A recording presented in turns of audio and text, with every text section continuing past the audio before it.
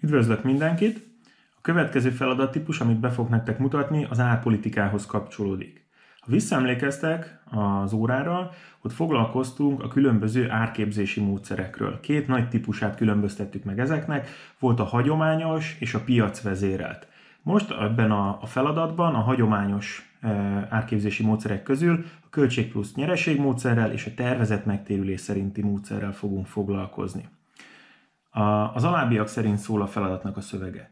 A Mikamaka Kft. az alábbi adatokat ismeri. A változó költség az 500 forint, a fix költség a 100 ezer forint, várható értékesítés az 1000 darab, az elérni kívánt nyereség 10%, a tervezett éves megtérülés 7%, míg a befektetett tőke az 1 millió forint. Itt lemaradt a forint, de az 1 millió forintot, forintot jelent. A kérdés, mekkora az ár költségnyereség módszerrel, mekkora tervezett megtérülés esetén, B. Mekkora mennyiség esetén lesz nullszaldós a vállalat, C. Hogyan csökkentheti a fedezeti pont. Ez egy eléggé összetett feladat, viszont kezdjük is a, az elején az A feladatnak a, a megoldásával, azon belül is a költség nyereség módszerrel számoljuk ki először az árat. Fel is írom, költség plusz nyereség módszer. Hát, hogyha megint csak visszagondoltok a, az órára, ott uh, volt róla szó, hogy milyen uh, képletekkel lehet kiszámolni ezen különböző módszerek szerint a, a, az árat, és milyen lépésekkel. Ugye az első lépés a költségnyereség módszernél az egységköltségnek a kiszámítása, vagyis, hogy egy termékre milyen költség szint jut, mi az a, a költség, ami ez egy termék esetén, amivel egy termék esetén számolnunk kell a várható értékesítés mellett. Ugye ennek a képlete a változó költség plusz a fix költség, osztva egyébként a várható értékesítésnek a mennyiségével. Ebben az esetben ugye a változó költségünk az 500 forint, plusz a fix költségünk 100 forint, és ezt az egészet leosztjuk ezerrel, ugye, hogyha ezt kiszámoljuk, ez akkor összesen 600 forint per darab lesz. Ugye az egység költségünk azt jelenti, hogy e, termékenként 600 forintba kerül ennek a terméknek az előállítása. A második lépés ugye az lenne, hogy meghatározzuk, hogy eh, mekkora a nyereségarányjal szeretnénk eh, tevékenykedni, de hát ez adott a feladat eh, szövege szerint, szóval az elérni kívánt nyereség az 10%-os, így hát nekünk ez adottság. És harmadik lépésben következhet tulajdonképpen az árnak a kiszámolása, az árnak a megállapítása, költség plusz e, nyereség módszer esetén pedig ennek a, a képlete, az egység költség per 1 mínusz e, nyereség lesz, ezt leírom, hogy egyértelmű legyen. Ugye az egység költséget osztjuk egy mínusz nyerességgel.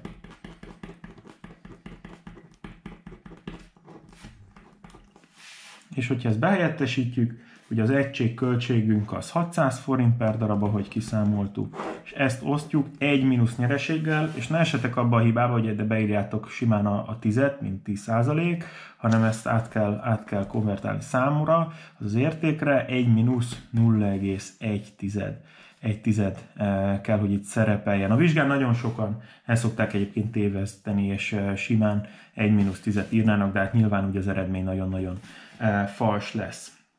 Hát tulajdonképpen akkor ez 600 per 0,9 lesz, és az megfelel 667 forintnak, vagyis az első részével kész vagyunk a feladatnak, az a, a feladatnak az első részével, mekkora az ár költségnyereség módszerrel, ugye a költségnyereség módszerre 667 forint lesz az ár. Most legyen a második tervezett megtérülés szerinti,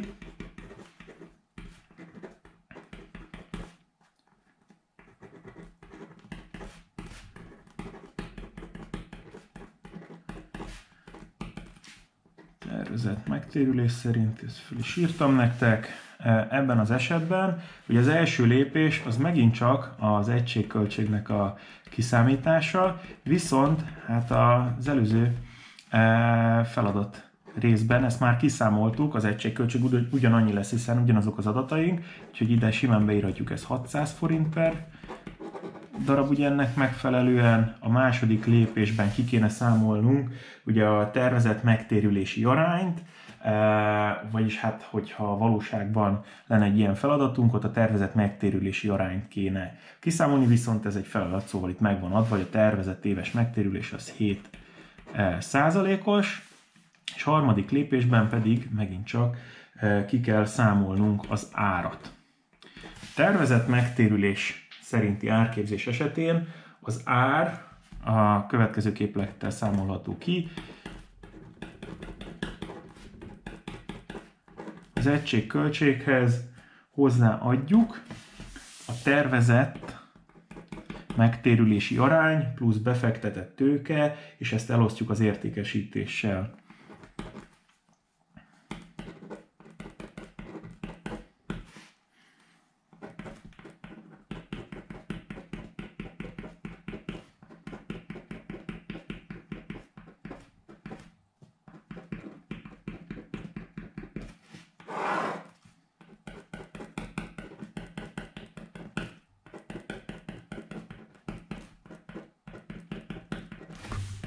Szóval még egyszer, tervezett megtérülés esetén az ár az egyelő lesz az egységköltség plusz tervezett megtérülés szer befektetett tőke per értékesítés, és hogyha ezt behelyettesítjük, akkor ugye 600 plusz e, megint csak a tervezett megtérülés az 7%, tehát hogyha ezt átírjuk számokra, akkor 0,7 század, szorozva befektetett tőkével, ami 1 millió forint, osztva az értékesítéssel, ami pedig 1000 darab a feladat szövege szerint, és hogyha ezt végigszámoljuk, akkor azt kapjuk, hogy 670 forint per darab lesz az ár, a tervezett megtérülés szerinti módszert alkalmazva. E, és tulajdonképpen az A feladata, hogyha leírjuk szövegesen, hogy a két esetben mennyi, mennyi lesz az ár, akkor meg is, meg is vagyunk az első feladat résszel. Most menjünk tovább a második feladat résszel, viszont kezdek egy új papírt, mert ez betelt nekem. Ugye az a kérdés, hogy mekkora mennyiség, lesz, mennyiség esetén lesz nullszaldós a vállalat. Hát ebben az esetben fedezeti pontot kell számolnunk, hogy ezt megállapíthassuk, és hát a fedezeti pontnak a képlete, az pedig az alábbiak szerint fog kinézni. A fedezeti pont az egyenlő a fix költségek osztva az ár mínusz változó költségekkel. Vagyis a két különböző esetben két különböző fedezeti, fedezeti pont lesz. A fedezeti pont azt jelenti, erről talán még nem beszéltünk sokat az órák során, hogy mi az az érték, amely esetén, hogyha azt legyártja a vállalat azt a mennyiségű terméket, akkor ott van nullába. Tehát, hogy visszanyerte igazából a befektetésének a, az értékét, vagy hát nem a befektetésének, bocsánat, tehát, hogy visszanyeri azt az értéket, amit mindenképpen ki kell fizetnie a fix költségek, fix költségeknek a, a fedezésére, és hogy ez hány darab termék esetén érhető, érhető el. Úgyhogy a költségnyereség módszernél, tehát az első költségnyereség módszer esetén behelyettesítjük ide a fedezeti pontnak a képletébe ugye a 100 000 forintos fix költséget, ezt elosztjuk ugye az ár mínusz a változó költséggel, ugye a e, költség plusz nyereség módszer esetén 667 forint volt az ár, és ehhez, illetve bocsánat, ebből kivonjuk ugye a változó költségeinket, ami 500 500 forint volt, hogyha végigszámoljuk, akkor azt kapjuk, hogy 599 darab lesz ebben az esetben a fedezeti pont, vagyis a költségnyereség módszer esetén 599 darab eh, terméket kell ahhoz értékesítenünk, hogy nullszaldós legyen a vállalat. A második esetben tervezett megtérülés esetén nézzük meg, hogy hogy fog kinézni a fedezeti pont, ugye a fix költség és a változó költség ugyanannyi volt, tehát 100 ezer, osztva 670, mínusz 500-zal, és ebben az esetben pedig azt kapjuk, hogy 588 darab lesz a fedezeti pont, vagyis, hogyha szövegesen e, meg kéne fogalmaznunk a választ, a választ, akkor azt mondhatjuk, hogy a vállalat a költség plusz nyereség módszer esetén 599 darabnál lesz nullszallódós, a tervezett megtérülés szerinti módszernél pedig 588 darabnál lesz nullszaldós. És van még itt egy C, C pont, amit hadd ne írjam le szövegesen a megoldást, mert az nem nagyon sokáig tartana. Itt tulajdonképpen a feladat arra kíváncsi, hogy eh, mennyire értitek, hogy hogy működik ez a fedezeti pont. Itt tulajdonképpen az a válasz, hogy úgy csökkenthető a fedezeti pont, hogyha csökkentjük a költségeket, vagyis csökkentjük vagy a fix költséget, vagy a változó költséget, eh, vagy egyébként növeljük az árat. Így csökkenthető a, a fedezeti pont, és ezt kell szövegesen megfogalmazni itt az utolsó feladat részben.